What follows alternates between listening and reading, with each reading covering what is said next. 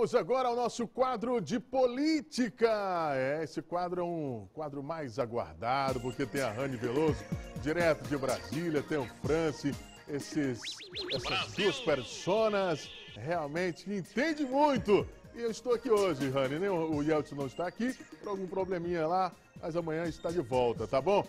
Franci, vamos começar por ela, né? Vamos deixar ela falar primeiro, ela que tá, hoje está arrasando, viu? Veio de Flamengo hoje, né? Veio de Flamengo hoje. Ah, claro, o Flamengo ganhou, tá tudo ok. Rani. Bom dia, é, Wilson, Bom dia, para você. Bom dia, tudo bom? Bom dia.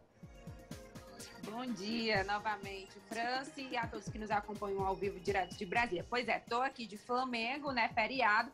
Tiradentes e aniversário de 61 anos de Brasília, mas a gente continua aqui na luta, né? É, o Yelson pegou falta, vou anotar, tá? vou passar pro RH.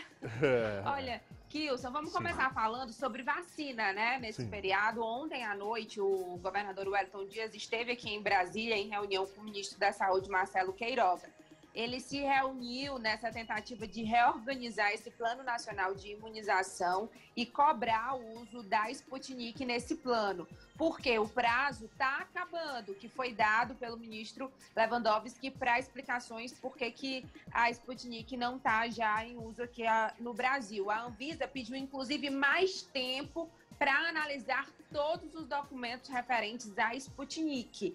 Mas, se por acaso esse tempo não for concedido, o uso da vacina já vai estar autorizado aqui no Brasil. Vamos escutar um trecho dessa fala do governador Wellington Dias logo após essa reunião.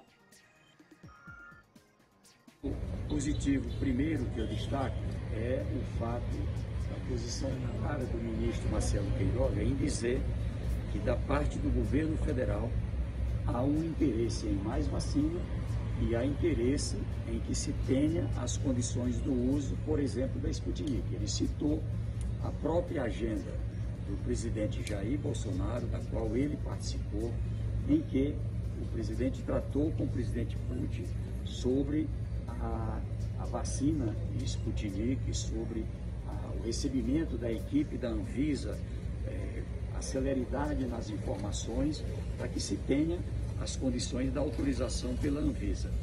O outro ponto positivo é que o ministro também mantém a posição que já era com o ministro Pazuello, de que a, o desejo do Ministério, a posição do Ministério é que todas as vacinas sejam colocadas na regra do Plano Nacional de Imunização, o que significa a decisão do ministro e do Ministério de compra desses contratos é, feitos pelos estados, assim como outros existentes no Brasil.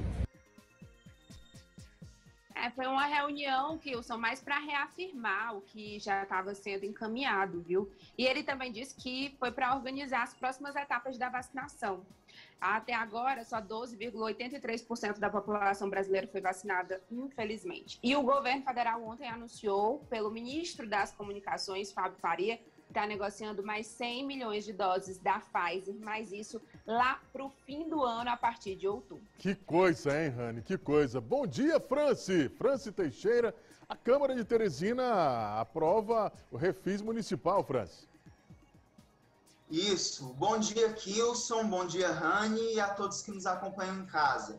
A Câmara Municipal de Teresina aprovou ontem, em primeira e segunda votação, o projeto de lei que foi encaminhado pelo prefeito Dr. Pessoa, que cria o Refis Municipal, que é o programa de refinanciamento, de pagamento incentivado e visa a concessão de descontos em juros e multas de tributos municipais. A expectativa, Kilson, é que haja um incremento na arrecadação com esse programa, com o PPI. A prefeitura ainda vai definir todos os parâmetros e as regras dessa concessão de desconto. No entanto, é uma tendência, inclusive em âmbito nacional. Inclusive, a Assembleia Legislativa já aprovou um programa similar que foi encaminhado pelo governador Wellington Dias e em âmbito federal, o presidente do Senado já indicou que quer também que seja pautado um programa de refinanciamento. No entanto, o ministro da Economia, Paulo Guedes, se mostra um pouco reticente quanto à criação de um refis nacional. Mas aqui em Teresina, agora esse projeto segue para a sanção e é aguardar agora os próximos dias para a definição das regras desse refinanciamento. Vamos aguardar, hein, Francis? Vamos aguardar. Agora, Rani, o ministro da Educação está previsto a chegada dele aqui no Piauí na segunda-feira, né? É a informação que eu dei ontem ainda com exclusividade. Ele chega aí dia 26 às 11 horas da manhã participa de, dessa entrega de 32 ônibus escolares. Esses ônibus eles foram adquiridos pela bancada federal, os 10 deputados e 3 senadores, ainda no orçamento da União do ano passado, via programa do Fundo Nacional de Desenvolvimento da Educação, que tem como presidente um aliado do senador Ciro Nogueira, Marcelo Ponte. Essa ida do ministro já estava prevista desde o dia 12 de abril, já se esperava, mas aí só ficou para para agora, próxima segunda-feira, por conta também da pandemia. O governador Wellington Dias vai participar desse encontro, dessa solenidade de entrega dos ônibus e vai ficar ali restrito apenas às autoridades indispensáveis. Isso vai acontecer na Poticabana. E uma informação importante sobre os primeiros municípios que vão ser contemplados com esses ônibus, porque tem as etapas de liberação para os municípios. Aroazes, Alto, Coivaras e Bom Jesus estão aí na lista das prioridades, segundo o senador Almano Ferrer, com quem eu falei sobre isso. É muito importante essa ida né, de ministros do governo Bolsonaro ao Piauí, principalmente porque é articulada por senadores ali que apoiam o presidente Jair Bolsonaro, porque mostram ali também a atenção do governo federal é, em relação ao Estado, né? Porque é, Bolsonaro ele tenta ali conquistar uma popularidade que ele ainda não tem, como o ex-presidente Lula tem no Nordeste. Impressionante isso, né? Mas, Franci, me diz uma coisa: o que aconteceu? Me parece que ah, está acontecendo lá uma polêmica diante da aprovação da reforma administrativa que aconteceu ontem, né? Isso mesmo, Kilson. Foi aprovada em primeira votação a proposta de reforma administrativa que foi encaminhada pelo prefeito da capital, doutor Pessoa. No entanto, a segunda votação foi postergada. Deve acontecer apenas no dia 28. Isso porque os vereadores querem sanar algumas dúvidas quanto à Secretaria de Agropecuária e Produção, tendo em vista que não se sabe com quem ficará a gestão das hortas comunitárias aqui na capital. Se continuará a cargo da SDR ou se ficará a cargo da nova secretaria. Então, para sanar essas dúvidas, o projeto não teve a votação final ontem e vai acontecer nos próximos dias. Mas a tendência é que seja aprovado com facilidade, Kilson. Na primeira votação foram 20, 23 votos favoráveis e apenas duas abstenções, que foram de vereadores do PSDB. Então, agora vai ser pautada a segunda votação na próxima semana com a resolução desses questionamentos e a tendência é que assim que for aprovado seja encaminhado novamente ao prefeito doutor Pessoa para a sanção e eventual concretização dessas mudanças, que é a segunda reforma desde que o doutor Pessoa assumiu. Já tinha sido sancionada a primeira no dia 24 do mês passado. Então, ele apresentou uma nova proposta e agora está em tramitação na Câmara Municipal. França, me conta, ah, o governador Wellington Dias, ele formaliza né, uma carta Nordeste para o embaixador nos Estados Unidos. É isso mesmo? Isso foi uma reunião que aconteceu ontem, inclusive anterior a essa que a Rani citou com o ministro da Saúde, Marcelo Queiroga. Foi a entrega daquela carta dos governadores do Brasil pelo clima, pautando o início de um diálogo com o presidente norte-americano, principalmente no que diz respeito ao cumprimento das ações do Acordo de Paris e também regras voltadas à sustentabilidade. Porque hoje, Kilson, um entendimento em âmbito internacional é que nenhuma nação do mundo se desenvolve sem estar aliada à sustentabilidade, sem estar aliada a uma preocupação ambiental. Inclusive, atualmente, a maioria das multinacionais pelo mundo só investem em países que tem essa preocupação com o meio ambiente. Então, foi o início de um diálogo. Agora, o embaixador dos Estados Unidos vai entregar essa carta ao presidente norte-americano, inclusive se comprometeu a entregar ainda ontem, e a observar agora se esse diálogo, se esse canal de diálogo vai ser aberto entre os governadores brasileiros e o presidente dos Estados Unidos. Wilson, só uma observação sobre esse tema também, Sim, que eu havia falado ontem sobre essa reunião.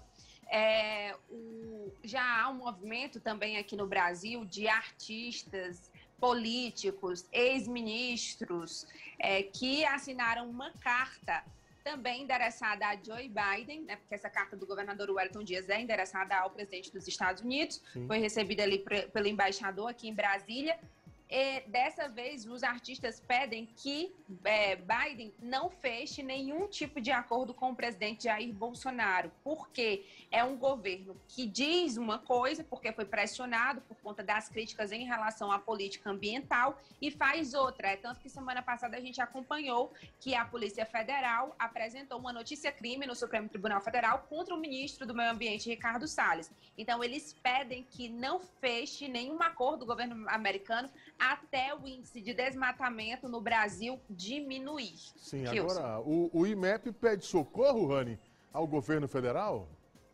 É, ontem teve essa reunião aqui em Brasília, articulada pela deputada federal Margarete Coelho, que é próxima à ministra da Secretaria de Governo, Flávia Arruda, com os representantes de institutos delegados ao Inmetro no país. O vice-presidente da ANOD, que é a associação responsável por isso, é o presidente do IMEP, Instituto de Metrologia do Piauí, Maicon Danilo Monteiro. Nós temos, inclusive, imagens aí dele ontem aqui em Brasília. É, ele falou que isso sobre uma situação problemática para o IMEP, não só o IMEP, mas todos os institutos do país que fazem fiscalização. Eles falaram que o orçamento desse ano está aí com, uma, com recursos né, previstos em 370 milhões de reais para todo o Brasil, para todo ano.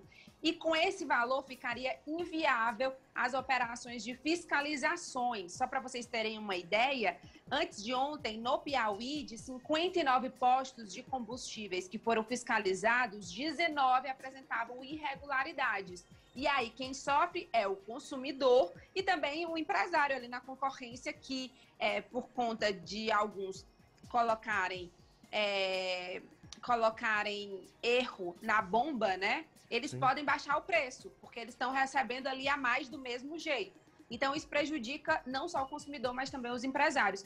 Então, eles pediram à ministra ontem uma complementação de 100 milhões de reais mas a ministra falou que estava bem complicado. A gente vem acompanhando aqui o drama do orçamento, que ainda não foi sancionado pelo presidente Bolsonaro, que tem até amanhã para sancionar esse orçamento.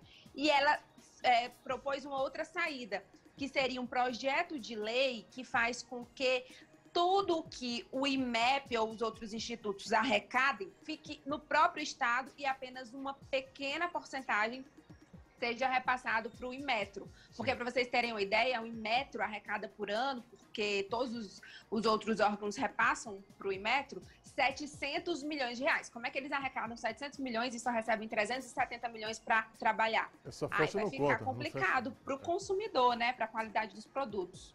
Exatamente. Agora, Franci, o STF deu aval ao, ao Ceará para importar Sputnik, né? Justamente, Kilson, é mais uma vitória de estados em ações que foram impetradas no STF em relação à importação da Sputnik V. O governador do Ceará, Camilo Santana, tinha ingressado com a ação no STF pedindo a autorização para a importação da Sputnik V e o ministro Ricardo Lewandowski deu essa autorização a partir do dia 29 de abril, caso a Anvisa não decida sobre a importação do imunizante russo. Nós sabemos, inclusive foi comentado aqui no Bom Dia, que o STF já tinha dado uma decisão similar ao governo do estado do Maranhão. Então, inclusive, mais essa decisão abre uma prerrogativa para os outros entes federativos que buscam a importação do imunizante russo. Inclusive, o estado do Piauí, que prospecta a importação de cerca de 2 milhões de doses. É importante, no entanto, reiterar, que essa importação não será apenas para doses que serão distribuídas somente no Estado. Elas irão para o PNI e serão distribuídas de maneira uniforme pelo Ministério da Saúde. Mas é uma decisão importante que dá uma sinalização de que, a partir do final deste mês, os estados terão o aval para trazer a Sputnik V ao Brasil, independente de uma decisão favorável ou não da Anvisa. Decisão essa que continua emperrada já há algumas semanas. Tá certo então, Franci Teixeira, minha querida Rani Veloso. Rani, eu vou ficar aqui aguardando, porque ontem eu estava acompanhando o noticiário nacional e vou ficar aguardando você me trazer informações daquela ligação do, do presidente Jair Bolsonaro para o Cajuru, né? Ainda está dando muita coisa aí nessa história, ainda vai sair muita coisa, hein? E ainda vai dar mais, viu, Yeltsin? Daqui para. Oh, desculpa, Kilson. Desculpa, perdão. Daqui para 2022 tem muito o que falar ainda sobre isso, porque a CPI da Covid vai estar em todo, a todo vapor, eu, eu acredito. Uhum. Se bem que são 90 dias né, iniciais. Enquanto essa CPI estiver instalada, essa conversa vai dar o que render, porque ele falou, né? Que a CPI era uma limão, um limão, o presidente Jair Bolsonaro. E, e pediu para que Cajuru transformasse em uma limonada. Vamos ver se vai sair essa limonada. Agora, meu amigo Francis, o Cajuru tá com uma dor de cabeça, hein? Tá com dor de cabeça. Tá, um tá sim. Chegou aí uma rusga. E só para finalizar aqui, sim, sim. só uma informação. O prefeito de Pulimatá, Valdeci Júnior, baixou um decreto suspendendo uma série de atividades por 15 dias após parte dos profissionais do centro de testagem da Covid terem testado positivo. Okay. Dentre essa suspensão está a de academias de ginástica no município. Tá certo, obrigado, Franci Teixeira e também minha querida Raniel Veloso, a Rani. Obrigada, bom, bom feriado. feriado. Mais Tchau, informações no blog direto de Brasília no meunorte.com. Tchau. Tchau, gente. Obrigado. Tchau, tchau.